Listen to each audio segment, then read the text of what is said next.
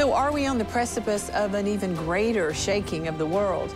Perry Stone shares the prophetic warnings he's received or witnessed, their impact, and what is still waiting to unfold. If you're enjoying Table Talk, be sure to like, comment, subscribe. Remember to click that notification bell to stay up to date on all of our latest posts.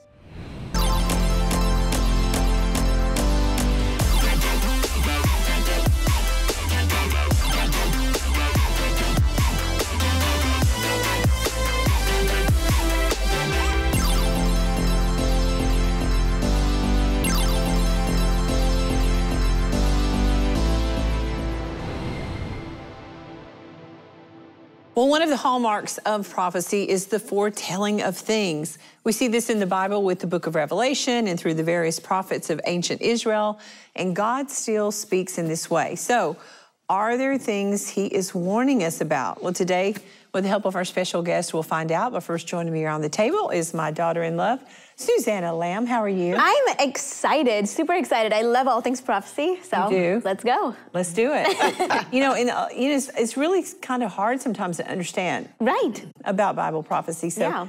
it's good to have someone who really understands it. Exactly. Dorothy Newton. Hello, hello. How are you? I'm doing great, great. And you know what? I love learning yeah. because there's so much I don't understand. Same. Yeah. And that's just the truth. You learned a lot at the table. Yeah, I, am telling you, it's the best place to learn. Rachel Lamb Brown, how are you? I'm good, and I'm super excited about today's guest. He is a literal wealth of knowledge, he and he has had some visions from the Lord, and I can't wait for him to unpack that and how it relates to what is literally going on in the world today. Yeah, you just did a good little tease there.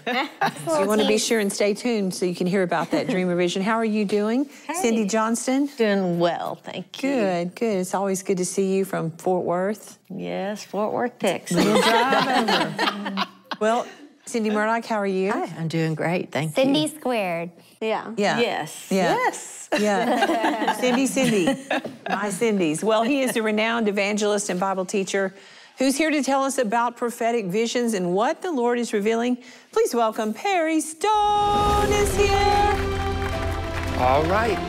There you go. Hello. Yeah, you walk pretty fast. Hello. Hello. Now, I am a thorn between roses, okay? so I, I have to admit that. Joni, good to be back with you. It's good to have you here. And of course, Pam is upstairs. Yes. And she doesn't. Um, She's heard me preach so much, she just she's drinking coffee. but we're so glad y'all are here at Daystar today. Yes. Well, you know, many in the body of Christ believe we've entered into a new season, and we've certainly seen an escalation of world events with prophetic end time connections. Take a look. Increasing violence, food shortage, the abandonment of truth. As things continue to accelerate, the world seems to be spinning into chaos. Leaders struggle to find answers, and the clock is ticking. Are these just signs of the time or a warning of things to come?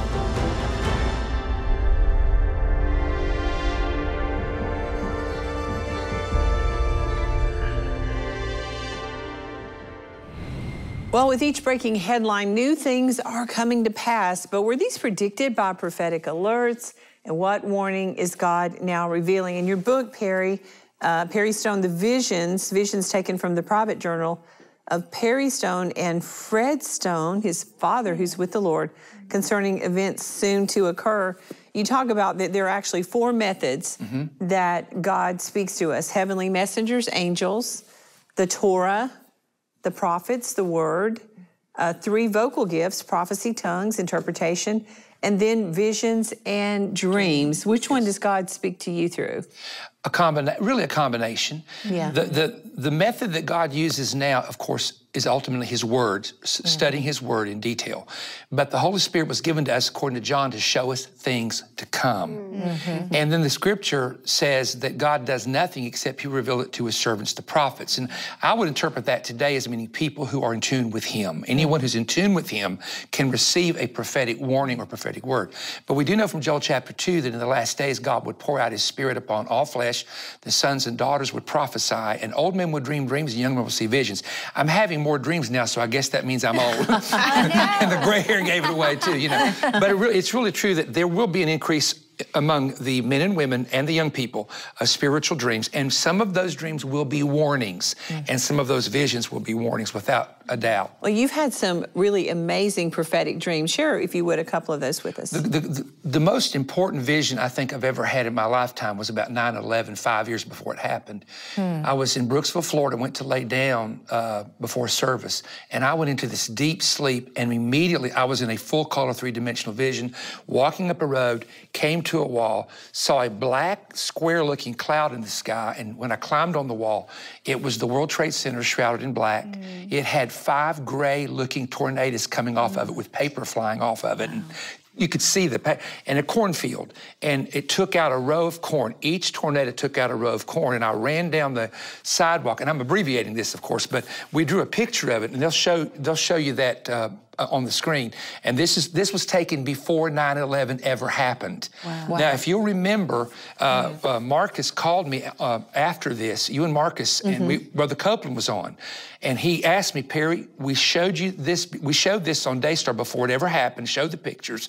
Uh, what do you think it means? And of course, the corn in the Old Testament was the economy. Mm-hmm. So these uh, and and, and the, this is this is really bizarre. If you take the two Trade Center buildings that fell, there was Trade Center, the, the two Trade Centers. There was there was uh, two, three, four, five, six. There was five, there was actually five buildings affected, besides the two, a total of seven. So the five tornadoes mm. were the buildings that would be affected. The economy was affected. Millions of jobs were lost. And again, we're abbreviating this. That was the most significant uh, vision that I've ever had. Did you recognize the World Trade Centers? Like I, I knew when I saw it what it looked like. Yeah, because but, but I could distinct. never figure out what it meant. Mm. Uh, I remember during Y2K, someone said that could be a computer mainframe. I said, "We'll just see." Of course, that didn't pan out. Yeah. And, and I actually, I actually had three drawings made. I put them in the book, but I had three drawings made in 1999 by J. Michael Leonard Cleveland, Tennessee.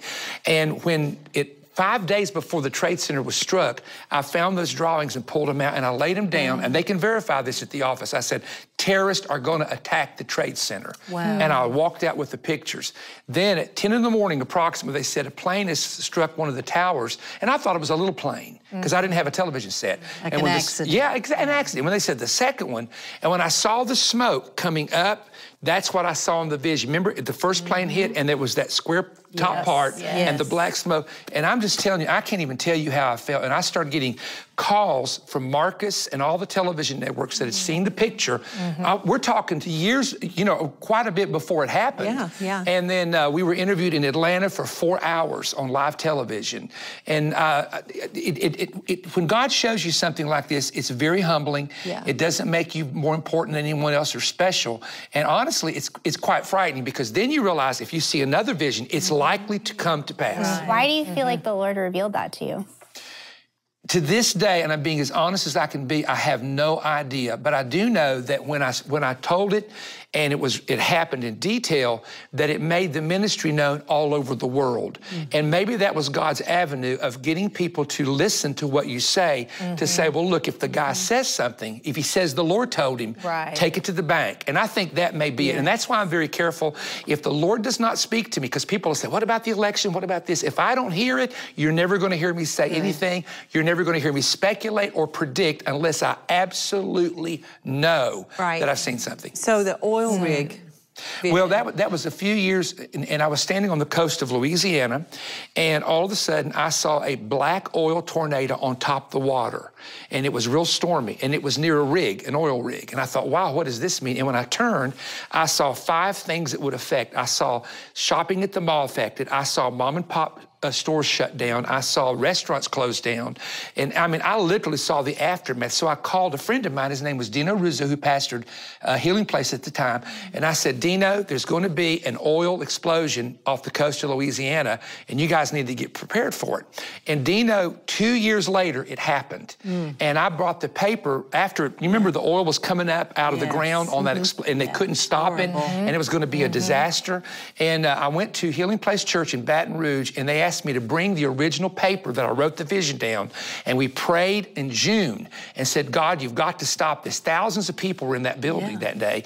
And we prayed. And do you know, a month later, a man, the story I heard was he was sitting in his bathtub and saw the plug and how it was holding the water and the. And he, he realized, wait a minute, we can do a plug in there and shut that off. And that's the man, he was a Christian man, from what I've been told, huh. that got, had the idea of how to stop that. But that was one that he, you know, the people in that area especially remember it because mm-hmm. I will tell these things in advance, but only when I'm released to do it. Yeah. You can release a vision too early and time goes by and doesn't happen, yeah. and then people soon forget it. You know? Or you can be like Joseph and talk about it way before it's time. And yes. get in trouble. you got in trouble. True. Okay. And that's what got him So trouble. you're, um, let's kind of come up to a little bit to what's been going on in the world now, but the Lord actually showed you some things about the COVID 19 pandemic before it oh, came? Oh, that was one I, will never forget. I saw cities completely empty. And now this would take a little too long to tell, but I was taking these big cases that I take to my big meetings with my product, and I was pushing them. The, the, the wheels were off, and I was trying to drag them into a,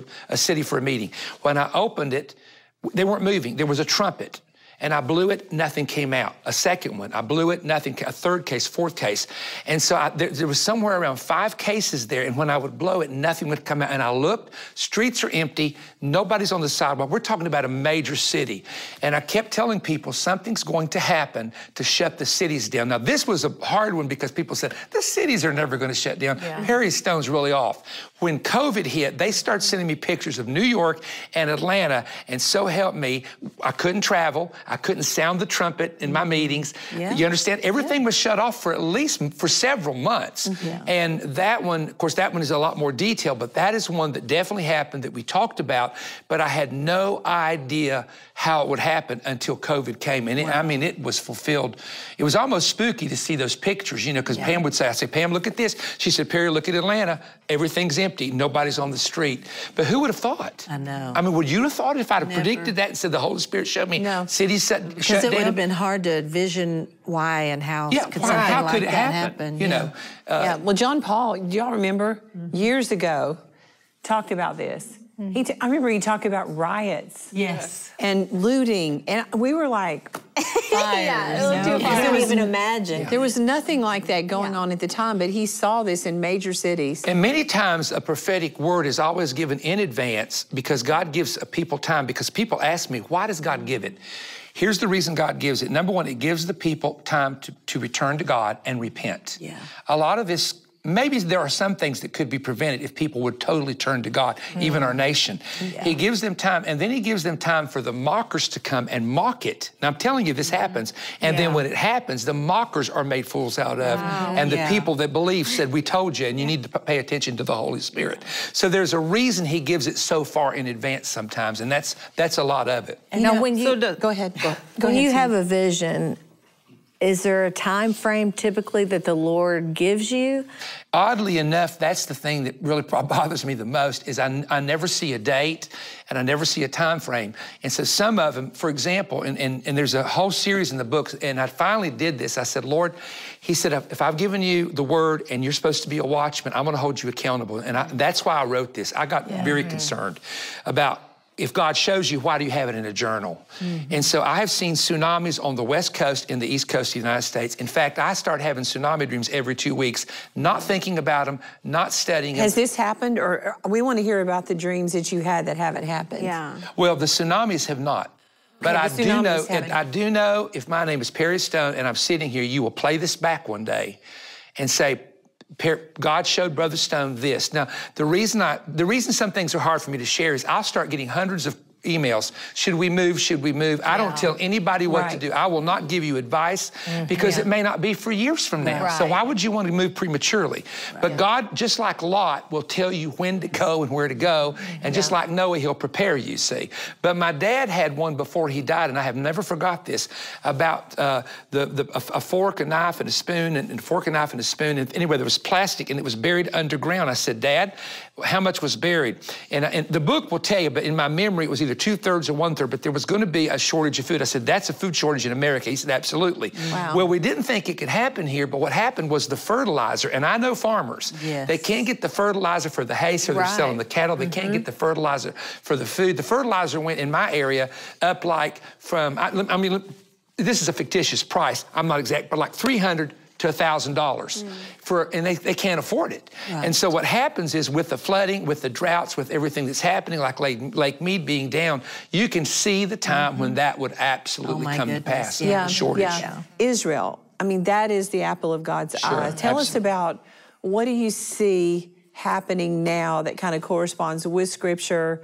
And, you know, we've heard about these, you know, um, nuclear facilities and mm-hmm. you know in Iraq, Iran. Well, if I can get these three things in real quick, what I what I see is the the Iranian nuclear facilities they're now talking about we're going to have a nuke, and they're very dangerous. The Iranians are very dangerous. Yes. So Israel will do something, and I'm not saying it's going to be a military attack. I think there's other things they can do to try to put a stop to that. But they can't just be down. still about that. It's impossible yeah. because a nuke in the hands of a wrong person is yes. is World War III any right. way you cut it. Yeah. Okay. The other thing I think when, when President Trump was in, there were you had you had you had Egypt and Jordan that already made peace with Israel, but you had four nations that made peace with Israel. Of course, his, his son in law, Jared, was very responsible for helping that.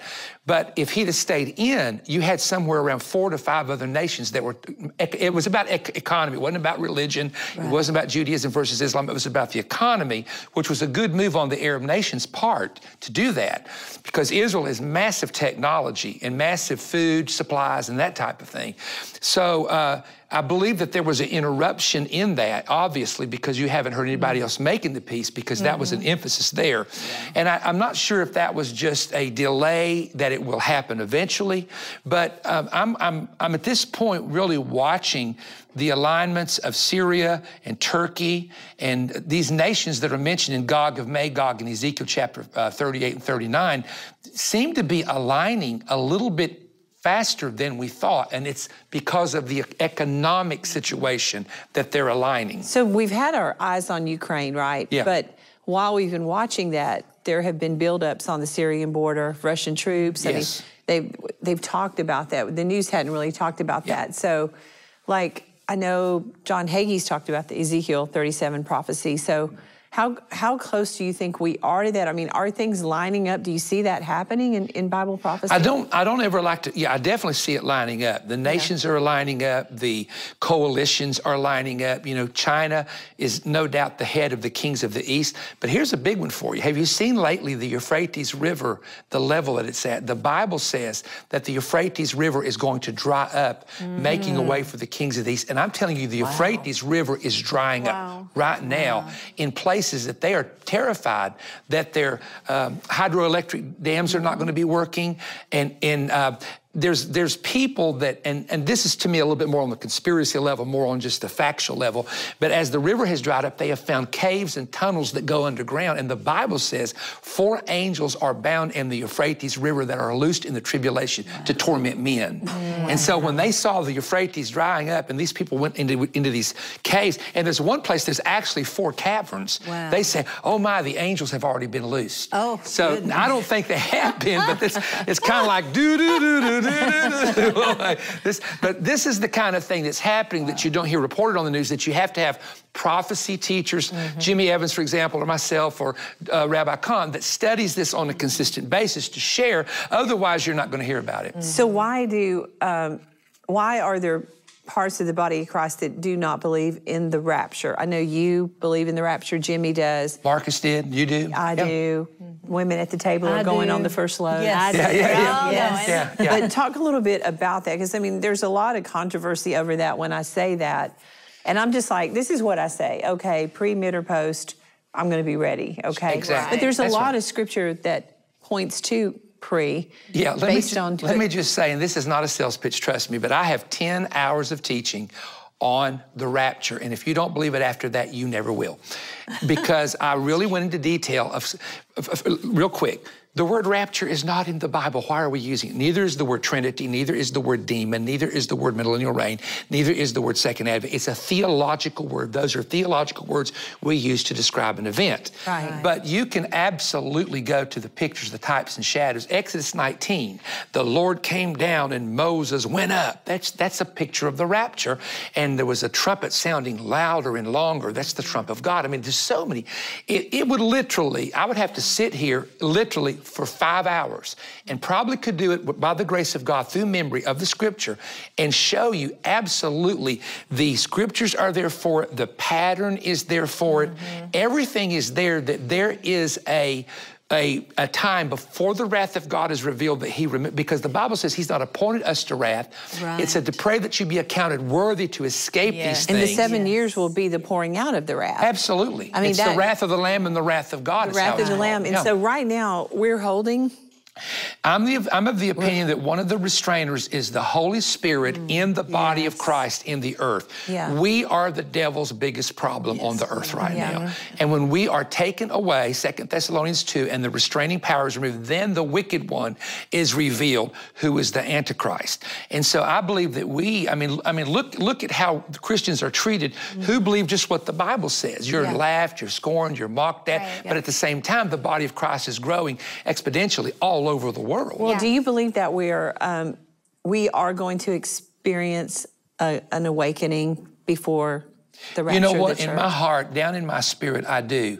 But I also believe it will come on the tail end of some disasters. Yeah. In the, and this is why I'm basing this. Israel would never turn till trouble came. Mm. When they got into captivity, they cried. I mean, this is hilarious. Book of Judges. They went to captivity, they cried out, and God yeah. delivered them. They went into captivity again because they sinned. They cried out, God delivered them. Yeah. It's like over and over right. again, like 10 Humanity times. Humanity just doesn't learn. Do they, they, don't learn their lessons. And there would no. have to be great trouble for them to accept mm. yeah, because leader. If they, yeah, because be you know this, if things go well in the United States and go great, people tend to forget the Lord. Yeah. And it's a pattern of it's ancient Just like 9-11, like right after everybody's in church. So this is why Jesus never revealed when he's coming. Do you know why? Because if Jesus were to say, I'm coming in 2025 on Rosh Hashanah, here's what would happen. Everybody would do their thing, live yeah. like they want, and the day before, oh God, I'm asking you in Jesus' name to forgive me of my sins, Lord, I ask you yeah. to come. Right. That's what would happen. Yeah. So what he does, he keeps it secret so that uh, watch and pray, keep your eyes open, keep a repentant heart, yeah. so that you'll be ready. Yeah. And so Paul said, we because we have this hope, we purify ourselves. Yeah. And that's that's why he kept it secret, really. Wow. He's not trying to hide from us. There's another vision that you had in your book that hasn't come to pass yet about cremation ovens. Can you share Oh my goodness. This happened. Uh, now look, look, look my hair standing Ooh, up. Jeez. Hey, can, uh, I just, can I just tell you one little thing before you talk about that? So we, we had a program we did with Brian Melvin, who the Lord allowed him to go to hell. And um, he talked about the pods. Like he said, it was like a staircase, mm-hmm. and there were pods that were built into the wall. But um, mm. after the program, I asked him, did he see anyone in there that he recognized? And he said that he recognized Hitler and he was in an oven in one of those mm. pods. Wow, so he was being tortured by the very the thing he, he did. did. Yeah. And I can I can authenticate for that from the Bible. When the rich man was in hell, he did not say, to Abraham, I'm tormented in these flames. He said, Give me water. I'm tormented in the mm. flame. What was it? What was his sin? He did not feed a poor man. Mm. And because he didn't feed a poor man, what you did that's what that's what got him there. Mm. He he was yeah. he hated the poor, and so his mouth burned. Mm-hmm. His mouth was burning, flame singular. Anyway, that's another message. Yeah, yeah. So what, what, what were we asking? You About asking, the cremation. The, the cremation. Yeah. Here's what happened. Um, I started having something very strange happen, and my dad was able to do this, but I never was. It just wasn't a gift. I was I was on the plane with some of my team members, and I closed my eyes, and I'm telling you full color, three dimensional, fully awake. I had my hands doing this. I'm saying, Oh, dear Jesus. I said, Guys, I'm seeing a vision. And it came right in me. And I saw uh, a round one, and I saw one that was uh, like that, and I saw a, uh, one that was arched, a square one, and one was arched, three ovens. I saw the, a timer on them. It was a, like a green looking light in a digital timer. I, I mean, it was so detailed. And I saw it twice and I heard the cremation ovens will be used. Now, I never got, in the book, I did a little speculation, which I don't like to do, of what would cause that many bodies to have to be cremated. Uh, usually they would just dig in the ground right. and, and do that, you know, right. unless there is a disease spreading as a result of the bodies. Mm. Then at that point, they, they, would be, mm. they would be cremated. Like if it was a real plague that had hit, right. then they would have to cremate. Now, I, I had heard, and I can't get this confirmed, and I don't really go on the internet because it can be a source of misinformation. But I did, I do, I do know that Russia had cremation ovens. Some said they were burning trash. Others said they were burning people. I do not know that if that's true. I'm talking about in the Ukraine, mm-hmm. but uh, but I, that's a possibility. But I think that's one of those situations that will have to time will reveal it or time will tell. But it appeared to me maybe something major had happened that a plague was being connected with it, and the only way to get rid of the plague uh, would be something of that nature. That's mm-hmm. that's what I don't think it's something like they're burning Christians, they're trying to kill. I don't think that's because in the Bible, beheading is what's going to yeah. take you out. But there again, they may destroy the bodies after they've done that. Uh, yeah. You know. So this is a vision you have in the future with the cremation? Yeah, yes, yes, definitely the future. Then an, another vision you mentioned was a, a, terrorist attack on a public school. Whew. Now, mm. look there again. Mm-hmm. I'm going to tell you the story real quick. My dad appeared to me in a dream and he was very disturbed. And I said, Dad, what's wrong? And he said, There's going to be a terrorist attack on a school. And he told me the school in our town where the attack would come. So I got so troubled by it, I called the mayor. This is the, the former mayor of Cleveland. And I said, Get me the, the, head of the police department and come to my office because I'm going to tell you something. And I said, Now, first of all, this, it wasn't this book. I said, here's a book on visions and dreams. I'm not crazy. And of course, the mm-hmm. mayor knew me. He just laughed. Yeah. He said, well, you are sometimes. I said, no, because I got to tell you something serious. So as I'm telling the mayor about what I saw, and I won't go into details on TV, but it was an attack. It was on a school. It shut the entire town down. It shut a big Christian university completely down for fear of a retaliation. And there were so many kids that were killed. And I can't hardly talk about this because I got grandbabies. There were so many Mm. That was what was bothering dad. It's like he knew it. He's in heaven, but he knew it. And he wanted me to know this is, you got to, you know, you've got to pray against this. You've got to deal with this. As I'm talking to the mayor, the policeman's text goes off. He said, I've got to go. That day, there was an alleged gunman that was headed to the school, and it was the school dad saw.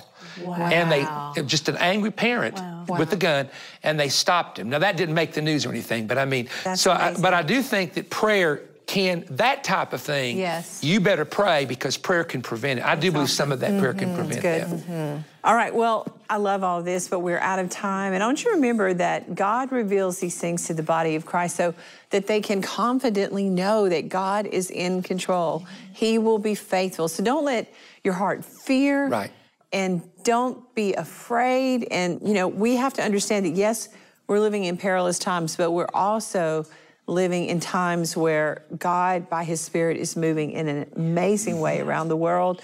And, right. you know, He's in control and He's with you mm-hmm. and you're not alone and He's bigger. Than mm-hmm. anything that's going on that could that's disturb right. you. You know, if you're watching today and you're battling fear, I want you to call that number on the screen. We'd love to pray with you, encourage you. Really, this is why Daystar exists to encourage you to share the gospel, the good news that Jesus loves you, that hell was never intended for you or me or anyone else, and Jesus paid the price at Calvary.